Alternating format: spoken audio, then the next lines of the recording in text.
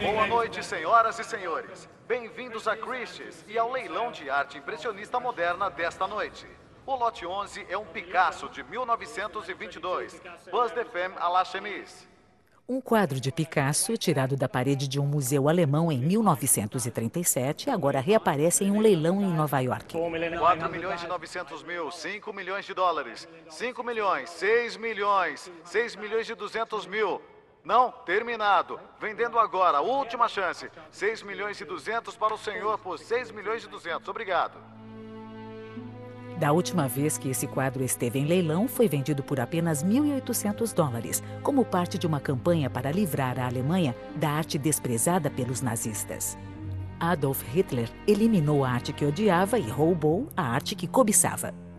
Os nazistas não foram só os assassinos em massa mais sistemáticos da história, foram também os maiores ladrões. Roubaram tudo. A arte de todos os tipos era vulnerável ao plano de Hitler: pintura, escultura, mobiliário, objetos religiosos. Sempre houve saques. Houve saques planejados por Napoleão, mas este foi realmente engenhoso.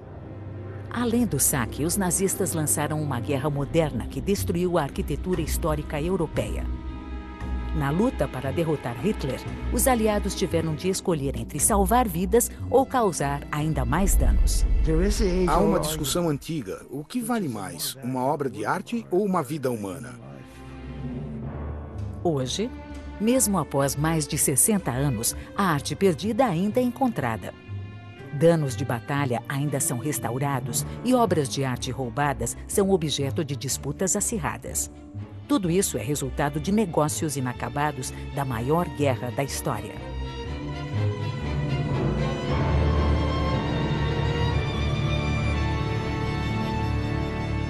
Europa saqueada. A influência nazista, parte 1. Este quadro em Viena é como a Mona Lisa. Este é o ícone deles. Esta é uma das mais importantes imagens da arte austríaca do século XX. O quadro foi roubado pelos nazistas durante a guerra. The painting was stolen by the Nazis during the war.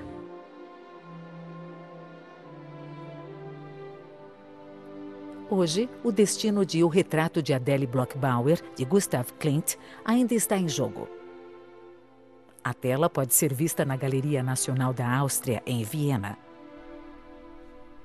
Mas é uma das várias obras cuja propriedade é contestada desde que os nazistas massacraram o mundo artístico. A maioria das pessoas chama este ícone vienense de O Retrato de Ouro. Poucos pensam nele como um retrato de uma judia vienense e de uma lembrança da comunidade judaica que floresceu aqui antes da Segunda Guerra Mundial. Quando os nazistas ocuparam a Áustria, roubaram o retrato de Klimt deste prédio que era a casa de Ferdinand Bloch-Bauer, conhecido colecionador de arte judeu. Os nazistas tomaram a casa de Bloch-Bauer e vários representantes de museus se reuniram para escolher quadros, porcelanas e esculturas que queriam para suas coleções. Este é o documento que enviou o retrato de Adele Bloch-Bauer à Galeria Austríaca. No final do documento lê-se: Eu assino com Heil Hitler. Há anos, a sobrinha de Adele Bloch-Bauer trava uma batalha legal contra o governo austríaco pela propriedade do retrato de sua tia e cinco outros quadros de Klimt que sua família possuía. Cresci vendo os quadros. Quando as pessoas perguntam se eu me lembro deles, digo sim. Todo domingo íamos lá para o almoço e os quadros de Klimt estavam na sala de Adele. Meu tio contratou Klimt para pintar o retrato de minha tia Adele. Adele e Ferdinand Bloch-Bauer eram grandes mecenas da arte vibrante de Viena antes da guerra. Artistas de todo o mundo iam à cidade para participar da Revolução Modernista. Enquanto Klimt trabalhava no retrato de Adele, três jovens artistas se inscreviam nas maiores academias de arte da Áustria. Egon Schiele e Oskar Kokoschka tornaram-se pintores modernos importantes. O terceiro era um desconhecido de 18 anos chamado Adolf Hitler. Sheila e Kokoschka foram aceitos e Hitler não. Kokoschka sempre brincou dizendo: Imagine se Hitler tivesse sido aceito e eu tivesse sido rejeitado. Eu teria governado o mundo de modo bem diferente. Ele não poderia ter causado o mesmo mal sendo um pintor ruim.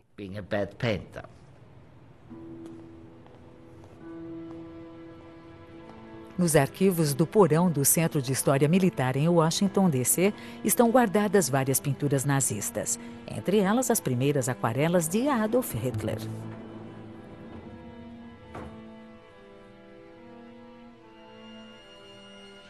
Era um pintor medíocre, não era péssimo, mas claramente sem talento.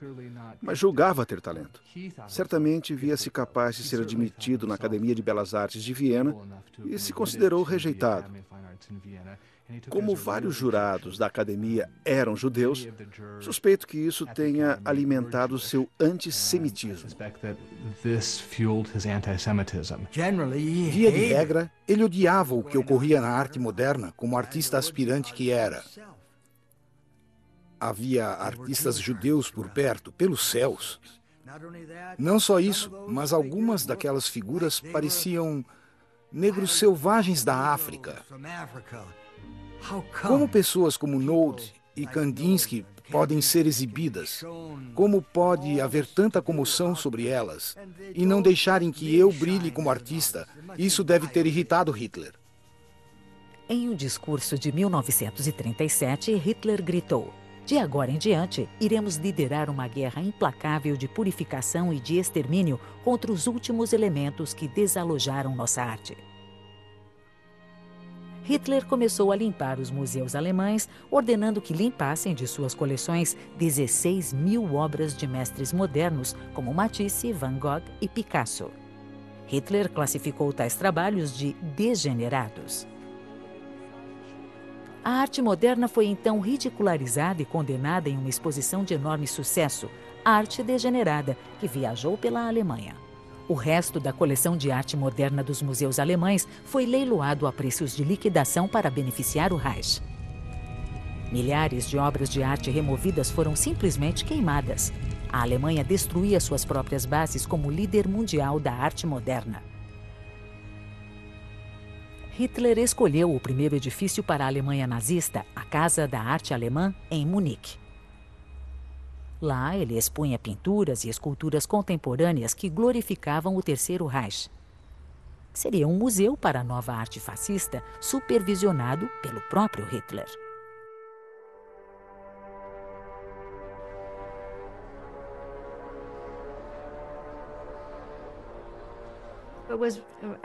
Era mesmo muito incomum para um chefe de Estado envolver-se tanto em questões culturais. Mas tudo era parte de sua ideologia racista. Tudo deveria ser puro até o último detalhe na Alemanha. Hitler ia com os curadores escolher o que ficaria lá. Isso continuou ano após ano até o fim da guerra. Tudo estava à venda, mas a maior parte tinha de ser comprada pelo governo, pois ninguém realmente queria aquilo.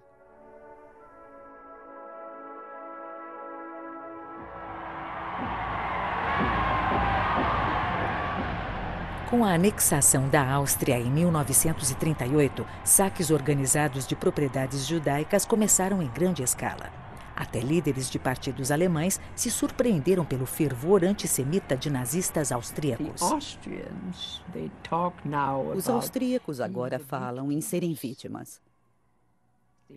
Eles nunca foram vítimas. É claro, havia alguns contra isso, mas não no geral.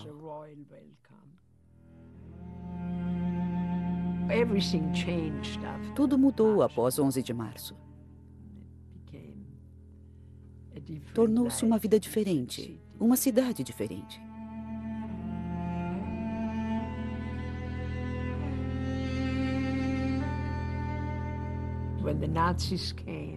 Quando os nazistas vieram, eles nos atiraram para fora do apartamento.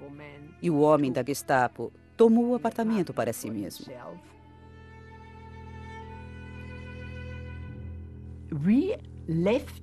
Nós saímos de Viena. Na época, nem pensei no que deixávamos para trás.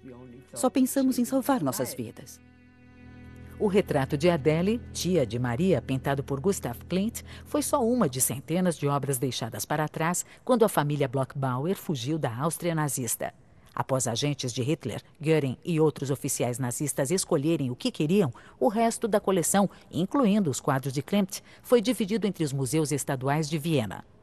Alguns foram devolvidos à família após a guerra, mas as telas de Klimt ainda estão nas paredes da Galeria Nacional Austríaca. Há uma compreensão geral de que os quadros pertencem simplesmente à Áustria. E há razão para isso. Está escrito em um documento. Está no último testamento de Adele Bloch-Bauer. A tia de Maria morreu em 1925 e deixou um testamento manuscrito. No testamento, ela pede que o marido dê os quadros à galeria austríaca após a morte dele. O que aconteceu, é claro, foi que tiraram as telas dele. Foram roubadas pelos nazistas antes que ele morresse. O marido de Adele fugiu para a Suíça em 1939 e morreu no exílio após a guerra. Ele nunca recuperou os clientes. Após a guerra, os austríacos decidiram não devolver as telas baseados na declaração de que, segundo o testamento de Adele Bloch-Bauer de 1923, eles tinham direito a elas. Está muito claro que ela sempre teve em mente que as pinturas iriam, no final, ficar na galeria austríaca. O lugar das telas é no museu. Devem ser vistas pelo público mas não na Áustria, onde são mantidas lá sob uma mentira. O que me entristece é a total injustiça de não admitirem que elas não lhes pertencem. Hoje, a batalha pelo retrato de Adele Bloch-Bauer é só uma de várias disputas ainda não resolvidas na esteira da máquina nazista de saque. Lenz, Áustria. A cidade natal provinciana de Hitler seria a sede do enorme Museu do Führer. Hitler planejava transformar Linz na capital cultural da Europa. Começando por esboços que desenhara na juventude, mandou seus arquitetos prepararem planos secretos para fazer da pequena cidade industrial uma grande cidade imperial.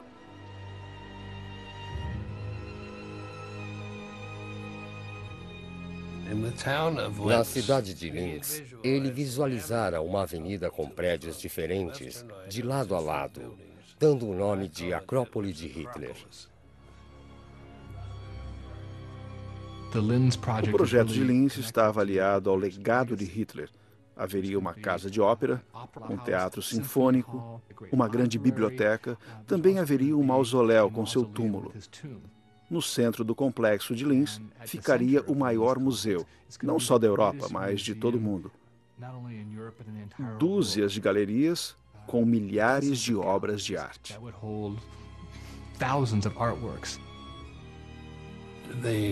A coleção era para o Estado. Hitler pensava que o Reich deveria ter uma grande coleção de arte pelo prestígio. E isso seria uma escala enorme.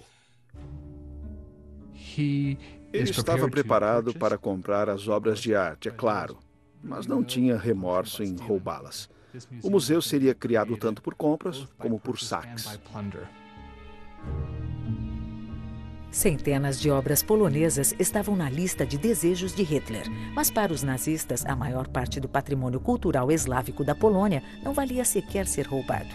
Os nazistas consideravam os eslavos subhumanos, assim como os judeus, a cultura polonesa foi declarada degenerada e marcada para a destruição.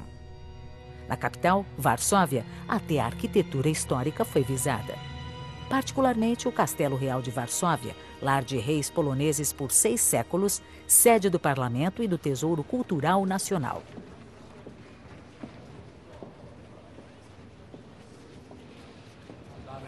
Há espelhos enormes aqui. Pode-se ver o que se chama de friso, é um trabalho de estuque decorativo. Em 1939, Hitler ordenou que seus exércitos matassem sem dó ou piedade todos os homens, mulheres e crianças de descendência ou idioma polonês na invasão e extermínio da Polônia. Fiquem certos de que tudo isto é uma reconstrução. As primeiras bombas caíram aqui, destruindo esta sala.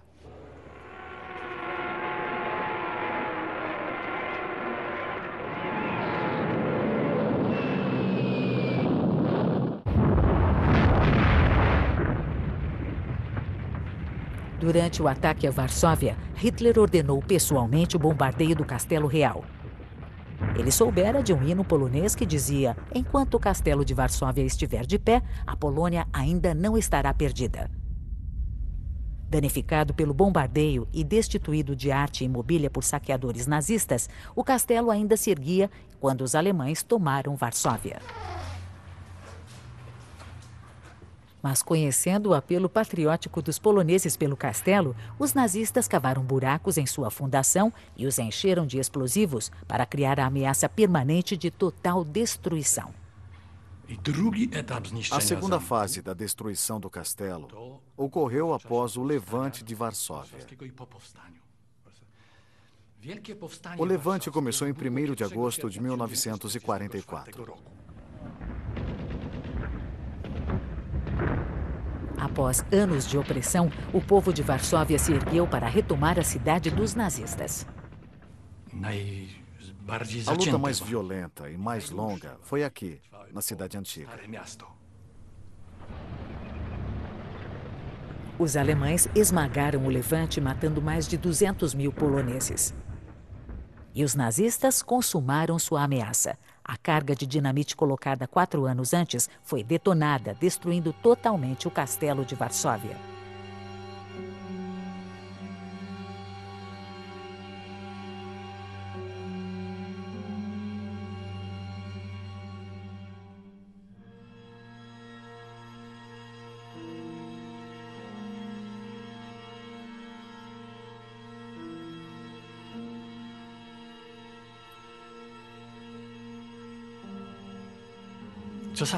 Às vezes as pessoas perguntam por que o castelo foi reconstruído. Pela mesma razão que foi destruído. Os poloneses não conseguiam viver sem ele.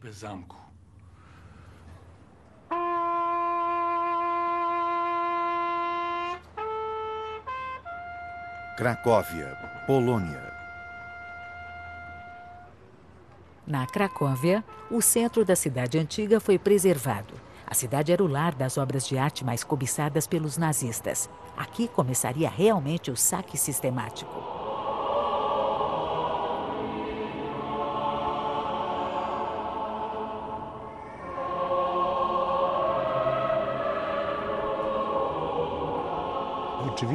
Este altar é de grande significado, principalmente para Cracóvia. O altar impressiona pelo domínio do acabamento.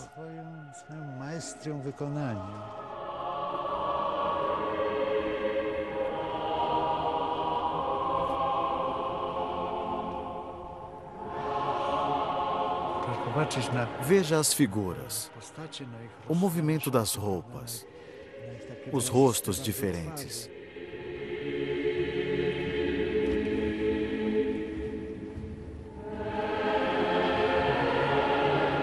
Altar de Weitstoss, Igreja de Santa Maria. Weitstoss era bávaro e veio a Cracóvia no começo do século XV. Para este altar, ele usou seus vizinhos como modelos.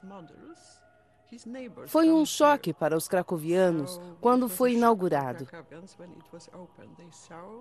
Eles viram os rostos normais de seus vizinhos como santos e apóstolos.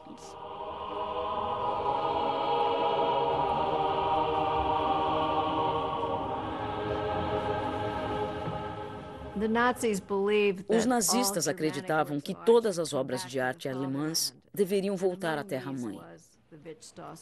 Entre elas havia o altar de Weitstoss. Não importava ter sido encomendado para a igreja pelo rei da Polônia. O importante é que fora feito por um artista alemão e, portanto, não poderia estar nas mãos de uma raça estrangeira, que eram os eslavos. Os poloneses desmontaram o altar de 13 metros e suas imagens em tamanho natural. Desmontado, foi escondido no interior, mas semanas após a invasão, os nazistas encontraram as peças e as enviaram a Berlim. Foi uma grande perda para os cracovianos. Estavam tão acostumados à presença do altar aqui que não conseguiam rezar sem ele.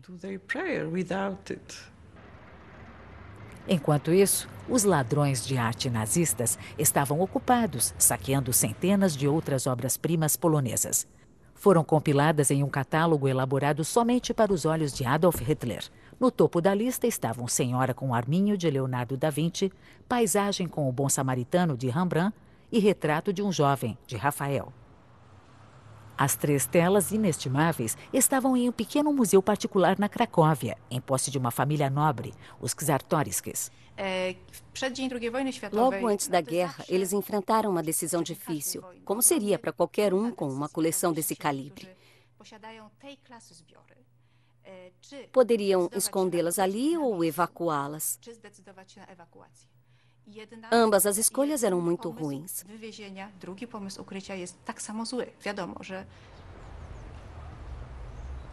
Os Czartoryskis decidiram esconder os quadros em sua propriedade rural a 160 quilômetros da Cracóvia. Os objetos foram trazidos para cá, para esse sótão, que foi então emparedado e coberto de gesso. Infelizmente, as idas e vendas chamaram a atenção. Quando os alemães chegaram, quebraram a parede. É claro, sendo soldados, levaram os objetos de ouro. Deixaram os quadros largados no chão. O Leonardo até tinha uma marca de bota.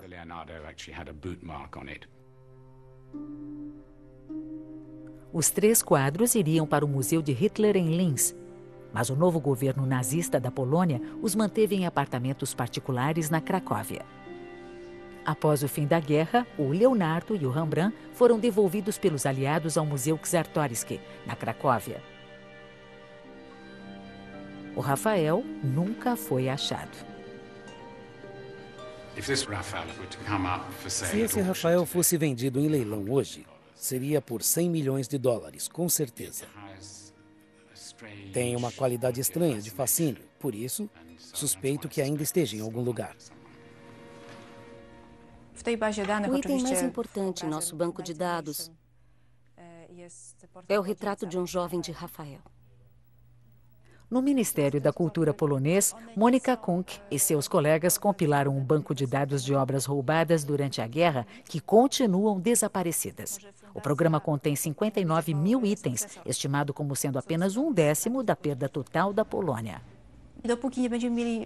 Até recebermos informação confiável, só poderemos distribuir fotos do quadro e então esperar. Podemos esperar, talvez, por mais uma geração, até que a pessoa que tomou parte no roubo morra e seus filhos, seus herdeiros, não saibam de onde veio o quadro e decidam vendê-lo. Então, a tela talvez veja a luz do dia. Tudo o que podemos fazer é esperar.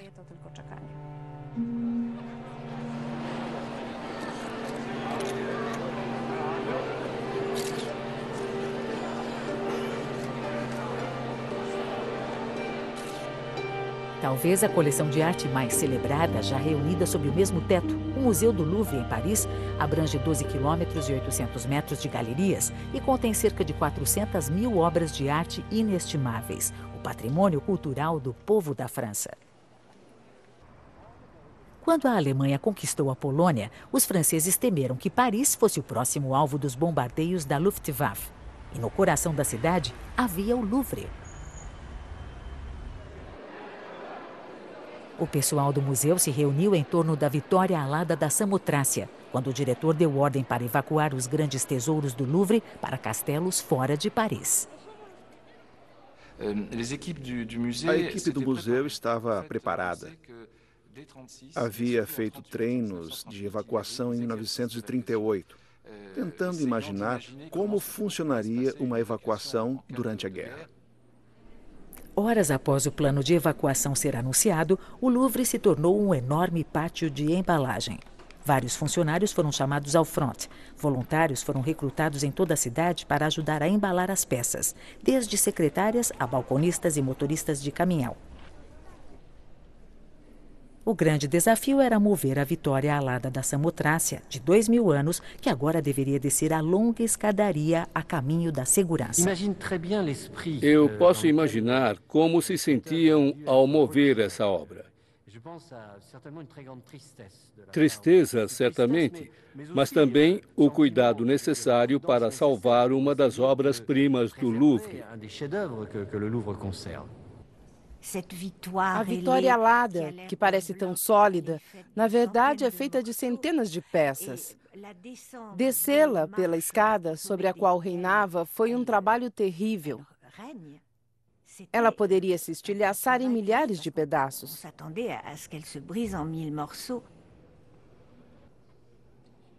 Uma testemunha mais tarde lembrou: a estátua balançou sobre uma rampa de madeira inclinada. Estávamos aterrorizados. O silêncio era total enquanto a Vitória seguia lentamente para a frente, com suas asas de pedra ligeiramente trêmulas.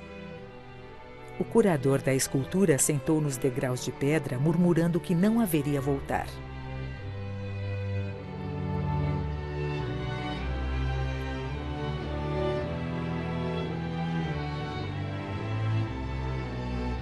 Trinta e sete comboios de oito caminhões cada partiram do Louvre, deixando o vasto museu praticamente vazio.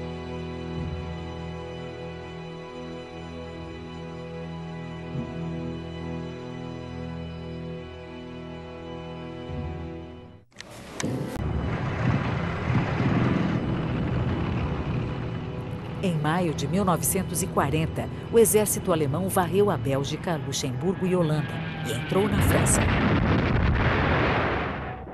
Foi um choque para os franceses que se prepararam para ataques aéreos, mas não para uma invasão em larga escala de seu país.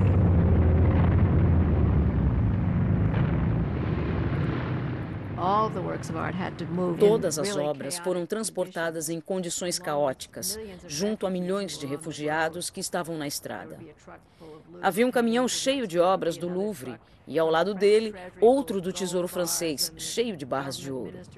Os ministros do governo correndo ao lado em limusines. Era o caos total. O milagre foi que as coleções francesas sobreviveram quase intactas. A Mona Lisa tinha veículo próprio. Foi posta em uma ambulância especialmente lacrada para manter o nível de umidade constante. Um curador foi com ela na ambulância e estava tão bem lacrada que, quando abriram a porta da ambulância, o curador estava inconsciente, mas a Mona Lisa estava intacta. A Mona Lisa e outras obras-primas do Louvre chegaram a castelos e abadias no sul da França foram movidas periodicamente durante a guerra para ficarem um passo adiante dos alemães. Os curadores moravam em castelos junto às obras de arte. Um casal trouxe sua filha adolescente. Euh, euh, a Mona Lisa foi confiada a meus pais. Deve ter sido a única obra do Louvre a ter sala própria. C'est-à-dire qu'elle était dans em outras palavras, estava em uma bonita caixa de madeira. Nós a abríamos e lá, em cetim vermelho, ela sorria. Ela sorria.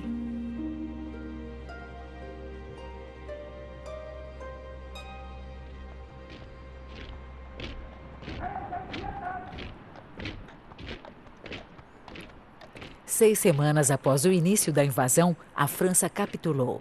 A Alemanha agora controlava a maior parte do continente europeu. No dia seguinte à rendição da França, Hitler voou em segredo a Paris antes da alvorada, acompanhado por seu arquiteto Albert Speer. Seria sua primeira e única visita à cidade. O Führer chegou a Paris cedo, pela manhã. Durante a turnê pela cidade, visitou a Madeleine,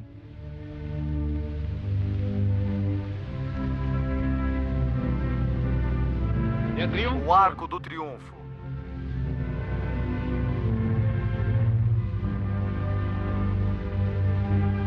E viu a Torre Eiffel. À esquerda do Führer, o professor Speer.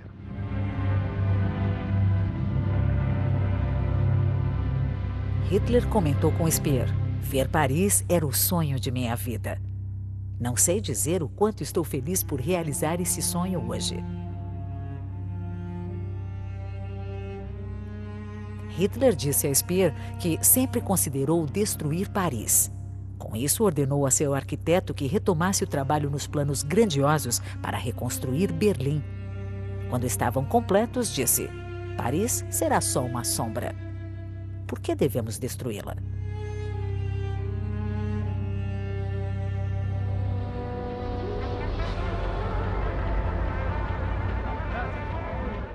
Ao contrário do tratamento severo dado às cidades eslavas da Polônia, Hitler preservou Paris como um parque de diversões sofisticado para os oficiais alemães. Enquanto o alto comando nazista aproveitava os prazeres da cidade, eles não se esqueciam da coleção de arte francesa ainda escondida em castelos na região rural da França. As autoridades nazistas sabiam que as obras desejadas de sua lista estavam em castelos, mas evitaram tomar as obras de coleções do Estado. Os alemães não queriam antagonizar com os franceses ou incitar uma rebelião aberta. Eles não tinham recursos para controlar cada canto da França na época. Então a tomada da França foi mais gradual. Primeiro roubaram dos judeus. Mais tarde adquiriram as obras que queriam de coleções do Estado francês. Haviam várias coleções judaicas notáveis na França. Paris era a capital do mercado de arte. Tinha grandes dinastias de comércio artístico, que tinham vastas coleções. Um mês após a ocupação nazista, a Gestapo varreu as galerias dos 15 principais marchands judeus. A família Seligman estava entre os maiores marchands de Paris. Esta é uma foto do meu pai antes da guerra, quando começou o seu negócio. Nossa.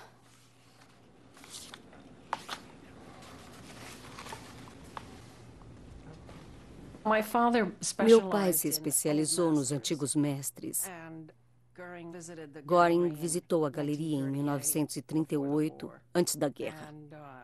Meu pai o expulsou da galeria porque sabia quem ele era e o que ele queria fazer. Então, como resultado, foi a primeira galeria saqueada durante a guerra. A quantidade de arte roubada de colecionadores judeus logo cresceu tanto que o Museu G de Pomme, no centro de Paris, foi requisitado para armazenamento. A operação foi supervisionada pela Força Tarefa Antissemita conhecida como ERR. Os nazistas se certificaram em manter a aparência de legitimidade. Segundo as novas leis de ocupação, os judeus que fugissem ou fossem deportados para campos de concentração perdiam sua cidadania. Os nazistas então declaravam sua propriedade sem dono e disponível ao saque.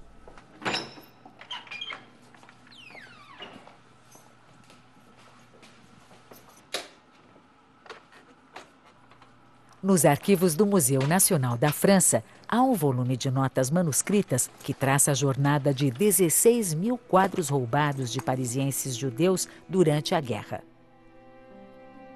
Compilada em grande segredo, relaciona cada obra que entrou no Jeu de Pomme e o nome da família de quem foi roubada. É trabalho de Rose Valland, uma curadora dedicada, hoje considerada a heroína da França e certamente sua espiã mais improvável. No começo da guerra, Rose Valland tinha 40 anos. Ela tinha um trabalho relativamente modesto no Museu Jeu de Paume.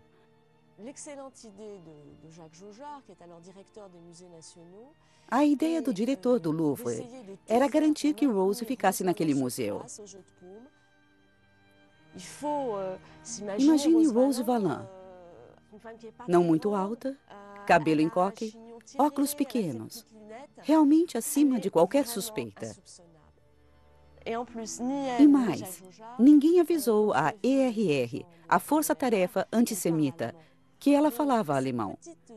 Ninguém suspeitava daquele ratinho rastejando pelo prédio, o tempo todo observando e escutando tudo o que acontecia lá. Ninguém sabia que toda noite, quando ia para casa, Com sua memória notável, ela mantinha um diário secreto de quais telas francesas, de propriedade pública ou privada, fora levada por quem e enviada para onde. Rose Valin conseguiu ficar no de Paume, apesar do constante perigo de deportação ou execução. Em novembro de 1940, ela se preocupou com uma atividade incomum que varreu o museu. Rose Valon notou que havia grande excitação e que os quadros não estavam sendo inventariados. De repente foram pendurados nas paredes e parecia haver uma festa ou vernissagem de algum tipo. E realmente Goering em pessoa viera ao Jeu de Paume para ver o que havia disponível para sua coleção e a de Hitler. Ele, é claro, era esperto bastante para saber que grandes obras, como o Astrônomo de Vermeer, que fora confiscada dos Rothschilds, deveriam ir para o Führer, para o Museu de Linz. Mas isso ainda abria a possibilidade de ele mesmo levar vários itens. Nos anos seguintes, Göring visitaria o Jeu de Paume 20 vezes, levando mais de 700 obras de arte para si. Hermann Göring passou muito tempo em Paris. Às vezes havia uma desconexão. Com a Batalha da Bretanha em andamento e Göring supervisionando a Luftwaffe em seu momento crítico, quando em intervalos em Paris, Göring visitava marchands, restaurantes, boates, bebia champanhe e comia ostras. Os itens que Göring saqueava em suas viagens turísticas a Paris, Holanda e Bélgica eram enviados de trem até a porta de seu suntuoso palácio de caça, Karenhall.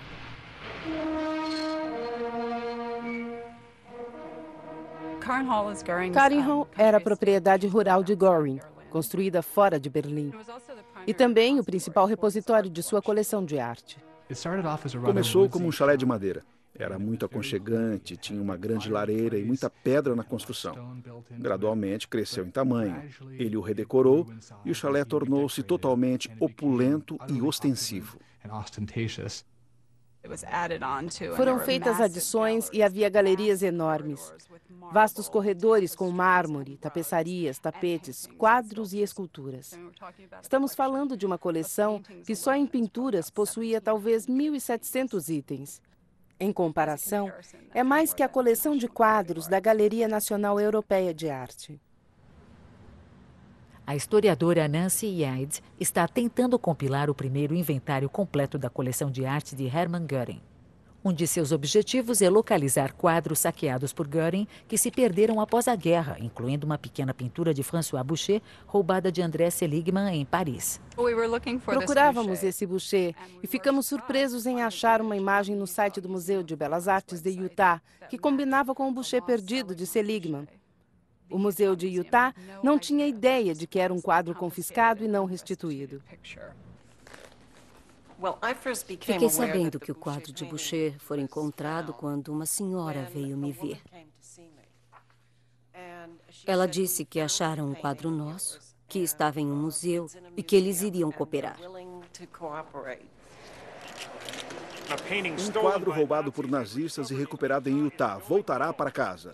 A seguir, vocês conhecerão a história. O diretor executivo do museu diz que este é um dia importante. O registro de arte perdida deu evidência de que não tínhamos o direito à sua propriedade. Devido a isso, iniciamos a decisão de devolver o quadro aos herdeiros de direito de André Seligman. Bom dia. Sou filha de André Seligman.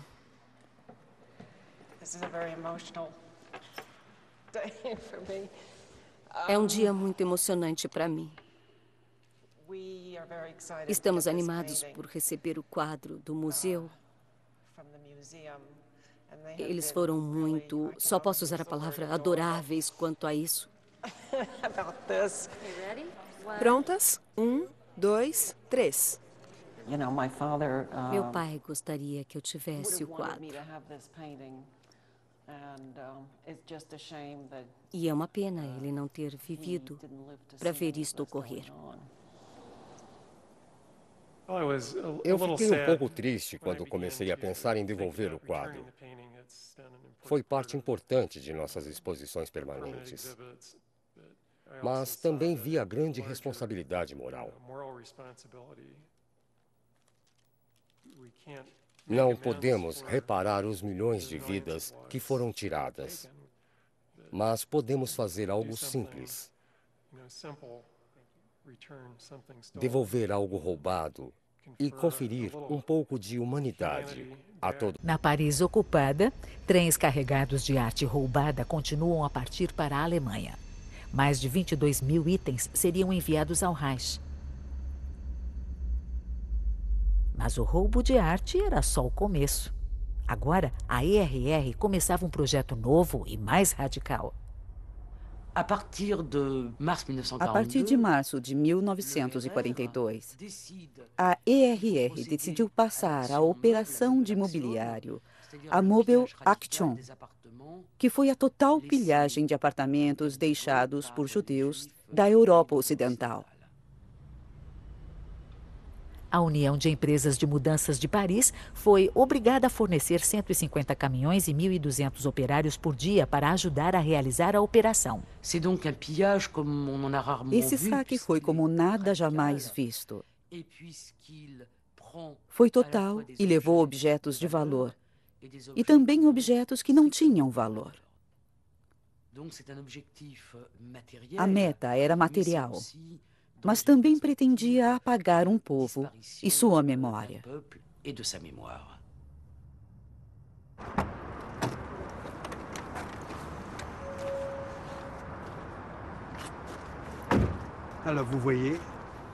Veja, tudo mudou aqui. Estes são os moinhos de Paris. E lá estão os armazéns onde trabalhávamos. Jacques Altman, jovem parisiense judeu, estava prestes a ser deportado para um campo de concentração na Polônia quando foi transferido para um novo campo de trabalho escravo montado em uma estação de trem no centro de Paris. No campo, prisioneiros judeus eram forçados a separar, limpar, restaurar e embalar pertences judeus que eram enviados a famílias na Alemanha. Por isso, os nazistas escolheram este local. As linhas de trem vão para o leste. Trouxeram caminhões pesados para o pátio e lá, prisioneiros como nós descarregavam os caminhões.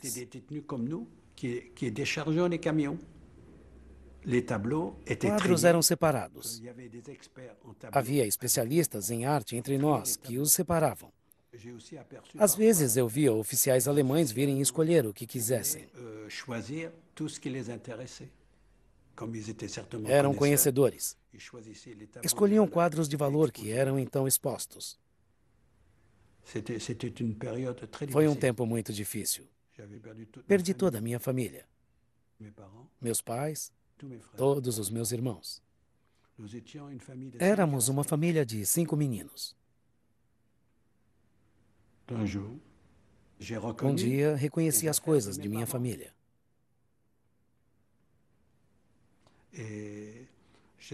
Eu vi fotos, nossos móveis. Fiquei em choque.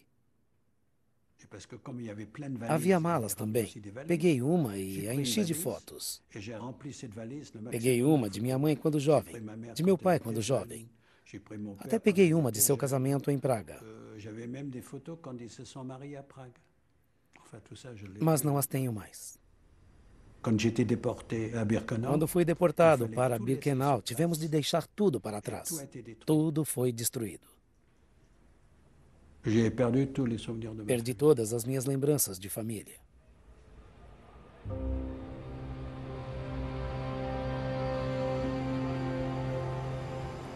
Trem após trem seguia para leste vários levando judeus para campos de concentração. Outros se seguiam carregados com seus bens e obras de arte.